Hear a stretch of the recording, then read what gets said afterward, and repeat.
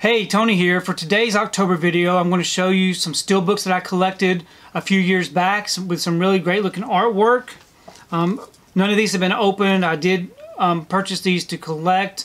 I've already got these films in my collection in another format. Um, so please don't give me a hard time about having these still sealed up. But first up we have Black Swan. Really nice looking artwork. I really do like the artwork on this one. Great looking image. We have Carrie. Another beautiful one.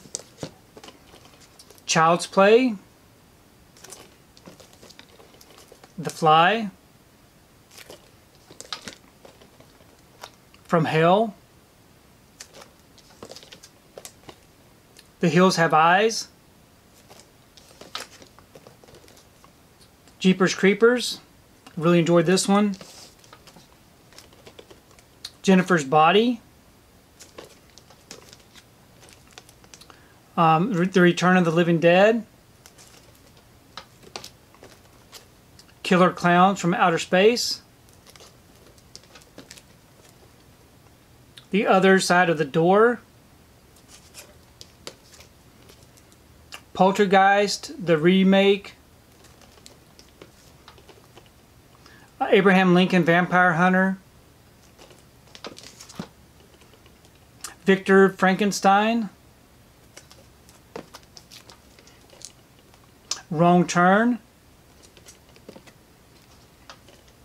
And Young Frankenstein. So um, I purchased these several years ago, back when Best Buy had these. I know that Walmart had some that had just the um, the replaceable card on the front of the regular Blu-ray.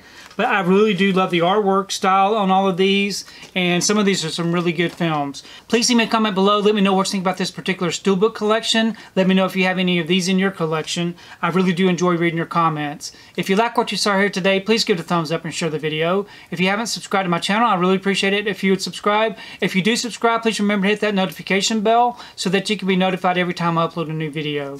If you haven't found me on my social media accounts, I'm on Facebook, Twitter, Instagram, and on TikTok. And if you'd like to find out what I've been watching, you can find me over on Letterboxd. I do have links below. But thanks again for watching, and we will see you next time.